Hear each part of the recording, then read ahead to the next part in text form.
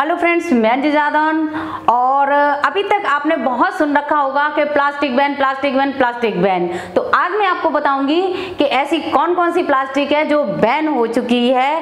तो अभी तक जो 50 और 55 माइक्रोन की जो प्लास्टिक थी, वो तो ऑलरेडी पहले से ही बैन हो गई है तो उसका कोई इश्यू नहीं है। तो अब जो बैन हुई है, वो है सिंगल यूज़ प्लास्टिक और अपना जो इंडियन कल्चर है, उसमें तो वैसे भी हर चीज़ को ना घिस घिस के यूज़ किया जाता है।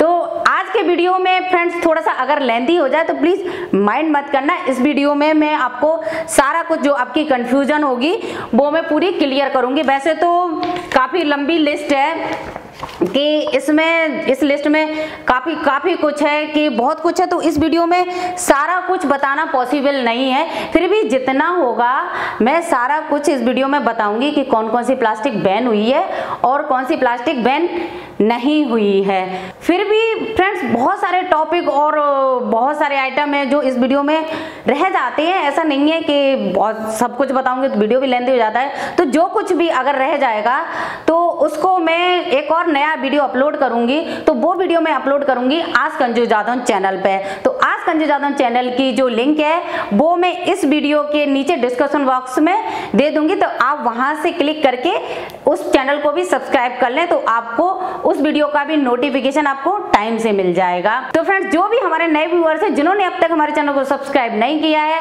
वो हमारे अंजू जादव चैनल को सब्सक्राइब करके बेल आइकन ज़रूर प्रेस करें, जिससे जो भी हमारे नए वीडियोस अपलोड होंगे, उनकी नोटिफिकेशन आपको टाइम पर मिलेगी। फ्रेंड्स ये जो आप देख रहे हैं थर्माकोल की प्लेट तो ये थर्माकोल की प्लेट है, ये तो पहले ही बैन हो चुकी थी तो इनका तो कोई इशू है ही नहीं है। और हाँ अगर आप इस थर्माकोल की प्लेट का, अगर आप बिज़नेस करना चाह रहे हैं तो फ्रेंड्स बिल्कुल भी बिज़नेस ना करें, क्योंकि ये जो प्लेट है, वो पहले से ही बैन हो चुकी है। तो इसको तो हम एक तरफ़ रख देते हैं। अब मैं आपको बताऊँगी कि कौन कौन सी प्लास्टिक बैन हुई है। ये जो सिंगल यूज़ प्लास्टिक है, ये आप डिस्पोजल देख रहे हैं। ये वाले डिस्पोजल जो हैं, शादी पार्टी यानी हर जगह इवन आप कुछ भी अगर खाने जाते हैं, खाने, पीने, कुछ भी काम करने जाते हैं तो ये आपको मिलते ही मिलते हैं। चाय वाले कप हैं और ये पानी के ग्लास हैं। तो ये जो सिंगल यूज़ प्लास्टिक है, वो सारी कुछ बैन होने वाली है। और अब अब ये है, आप चाहे 50 माइक्रोन बनाओ 150 बनाओ 500 बनाओ, कितना भी माइक्रोन की आप इनको बनाएँ, ये सारा कुछ बैंड हो चुका है। यानी कोई भी, इसका कोई इशू नहीं है। ये सिंगल यूज़ प्लास्टिक है तो ये तो अब ये नहीं चलेगी। यानी इसको तो आपको एक तरफ़ रखना ही रखना है। इसका आप अगर बिज़नेस करने की सोच रहे हैं तो आप बिल्कुल भी ना करें। तो फ्रेंड्स जैसा कि आप माइक्रोन का जो चक्कर होता है, वो तो खत्म हो चुका है। अब चाहे 50 माइक्रोन बनाओ 100 बनाओ 150 बनाओ, कितने भी माइक्रोन का बनाओ तो वो अब नहीं चलने वाला है। तो सिंगल यूज़ जो प्लास्टिक है, वो बैन हो चुकी है। ये जैसे हैं, ये चाय के कप हैं। ये आपने होटल वगैरह में बहुत देखे होंगे, उनमें काफ़ी बार चाय भी पी होगी। तो ये जो सारे प्लास्टिक के हैं, ये बैन हो चुकी है। तो अगर आप इसकी मशीन परचेज करना चाहते हैं, आप बिज़नेस करना चाहते हैं तो आप बिल्कुल भी ना करें, आप फंस जाएँगे। अगर आप इसका बिज़नेस करेंगे तो आप फंस जाएँगे। तो एक एक करके मैं सभी कुछ बताती जाऊँगी कि कौन कौन से आइटम है, बैन हुए हैं, और कौन कौन सा बिज़नेस आपको नहीं करना है। तो हाँ पूरे वीडियो में बने रहिए फ्रेंड्स, तभी आपको पता चलेगा। तो फ्रेंड्स अभी तक आपने देखा होगा, इन चम्मचों से आपने बहुत सारी आइसक्रीम खाई भी होगी और खाने के बाद वही डस्टबिन में आपने इनको फेंक दिया होगा। अब डस्टबिन में फेंकने के बाद इससे कितना सारा पॉल्यूशन बढ़ेगा? अब रिसाइ अब बात आती है रिसाइकिल की। तो 100 में से सिर्फ़ एक ही चम्मच रिसाइकिल होगी। बाकी जो निन्यानवे जो चम्मचें होती हैं तो वो सारी कुछ यहीं पड़ी रह जाती हैं। उनको बहुत सारे साल लग जाते हैं। रिसाइकिल होने में, ऐसे मान लीजिए 400 साल इनको लग जाएँगे इन चम्मचों को रिसाइकिल करने में। तो अब इसीलिए इनको बैन किया गया है। सिंगल यूज़ जो प्लास्टिक होती है, वो सारी कुछ बैन हो गई है। यानी वन बार यूज़ किया और उनको फेंक दिया।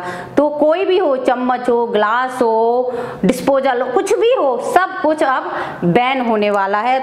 तो फ्रेंड्स अब मैं आपको बता रही हूँ आपका चहेता बिज़नेस और हाँ अपने अपने दिल पे हाथ रख लीजिए, कहीं आपकी हार्ट बीट ना बढ़ जाए। तो अब मैं आपको बताने वाली हूँ आपका चहेता बिज़नेस जो अब बंद होने वाला है।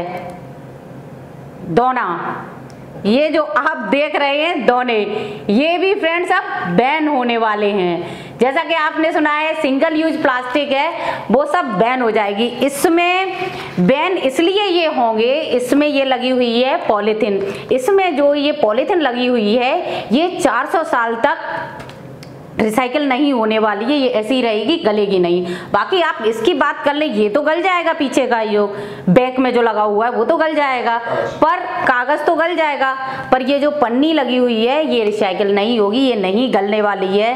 तो इस सिंगल यूज़ जो आइटम है वो सारे आइटम बंद कर दिए गए हैं। तो फ्रेंड्स, अभी तक आपने देखा होगा दोना पत्तल के बिज़नेस के बारे में। दोना पत्तल का इसमें ये इसलिए बैन किया गया, इसमें जो रॉ मटेरियल लगेगा, उसको अभी लोग बना रहे हैं और कहीं कोने में, एक सेफ़ जगह में वो बैठ के इसका काम करते रहते चोरी छुपे इसको बना रहे हैं, क्योंकि इसमें जो प्लास्टिक यूज़ हुई है, वो प्लास्टिक बहुत ही हार्मफुल है। यानी इसका माइक्रोन की तो बात कर ही नहीं सकते, क्योंकि बहुत पतली पन्नी है तो चोरी छुपे लोग इसको अभी बना रहे हैं। और जब तक जिसका रॉ मटेरियल बन रहा है, और जब तक आप एक कोने में बैठ के, एक, जहाँ किसी को पता ना चले, वहाँ बैठ के आप इस बिज़नेस को करते रहें। और जिस दिन अगर किसी को पता चल गया कि आप इसका बिज़नेस कर रहे हैं तो एनजीटी और पॉल्यूशन कंट्रोल बोर्ड वाले हैं, अगर उनको पता चलेगा कि इसका आप बिज़नेस कर रहे हैं तो आपको उठा के ले जाएँगे। तो फ्रेंड्स इसका बिज़नेस आप बिल्कुल ना करें। दोना पत्तल की तो आप भूल ही जाएँ और इसकी मशीन को आप बिल्कुल ना देखें। क्योंकि फ्रेंड्स कुछ लोगों को बुरा भी लग रहा होगा। मैं इस बात को आपको बताना चाहती हूँ। कुछ लोगों को बुरा भी लग रहा होगा। मैं दोना पत्तल के बारे में बोल रही हूँ मना कर रही हूँ। ये मेरा फ़र्ज़ है फ्रेंड्स आपको राइट इन्फॉर्मेशन देना। कि मैं हमेशा कोशिश करती हूँ मैंने आपने मेरे आ, और भी वीडियोस देखे होंगे तो मैंने ऑलवेज कोशिश की है आपको राइट इन्फॉर्मेशन देने की कि आपको क्या करना चाहिए क्या नहीं करना चाहिए और ऑलवेज आपको सजेस्ट करती हूँ हार्ड बिज़नेस करने के लिए।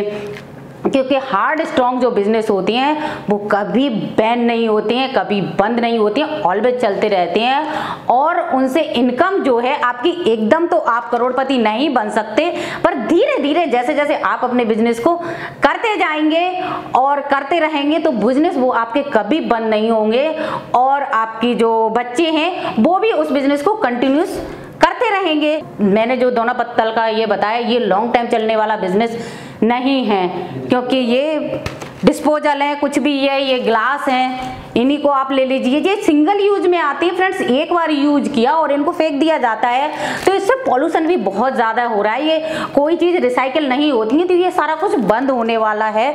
तो और भी फ्रेंड्स अब जिसको बुरा लगना है, लगता रहे, मैं उसके बारे में नहीं बोल सकती हूँ। और मैं आपको इसी तरह से वीडियोज़ में इंफॉर्मेशन देती रहूँगी। और ये मैंने इसलिए बताया है ये जो मैंने अभी आपको लिस्ट बताई है, इस लिस्ट में ये सारा कुछ है कि इसमें क्या होने वाला है, कौन सा बंद बैन होगा, कौन सा नहीं होगा। तो इसमें सभी कुछ लिखा हुआ है, इसलिए फ्रेंड्स मैंने आपको बताया है। फ्रेंड्स, ये सारा कुछ जो आइटम है, जो सिंगल यूज़ आइटम है, वो एकदम से तो बंद नहीं होंगे कि ऐसा नहीं है, दो तारीख को बोला गया और ये तीन तारीख को ये सारा कुछ बंद हो जाए।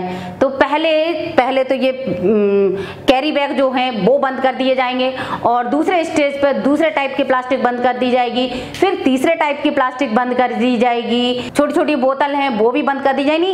एक एक करके वो सारी कुछ जो प्लास्टिक है, वो बंद हो जाएगी। इसमें एकदम से ऐसा नहीं है कि जी अभी सारी कुछ प्लास्टिक बंद हो जाएगी उसको थोड़ा सा टाइम लगेगा। और जैसे भी होगी, ये सारे कुछ जो सिंगल यूज़ आइटम है, वो सभी कुछ बंद होने वाले हैं। तो फ्रेंड्स अभी तक आपने देखा होगा 200 ml की जो पानी की बोतल है, वो बैन कर दी गई है। और एक लीटर की जो पानी की बोतल है, वो अभी बैन नहीं की गई है, वो आगे जाके बैन हो जाएगी।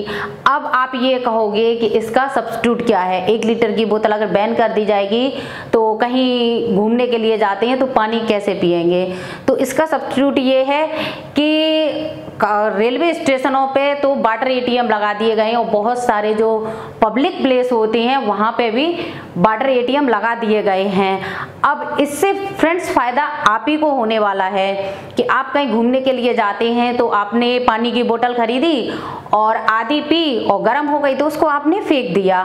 तो इसमें सबसे ज़्यादा घाटा आप ही का होता है। अब ऐसा होगा, जो फ्रिज की बोतल है, वो आप अपने साथ में रख लें और कहीं भी जा रहे हैं, जैसे स्टेशन है या पब्लिक प्लेस है तो आप वहाँ पे उसको जो वाटर एटीएम है, उनसे आप भरवा लें। जो बोतल आपने एक लीटर की पंद्रह रुपए की खरीदी और उसमें से आधी पी और आधी फेंक दी तो उसमें वेस्टेज भी होता है। तो उसी जो आप पंद्रह रुपए की खरीद रहे हैं तो वो वाटर एटीएम से अगर एक लीटर की बोतल आप भरवाएँगे तो वो आपकी तीन रुपए की पड़ेगी।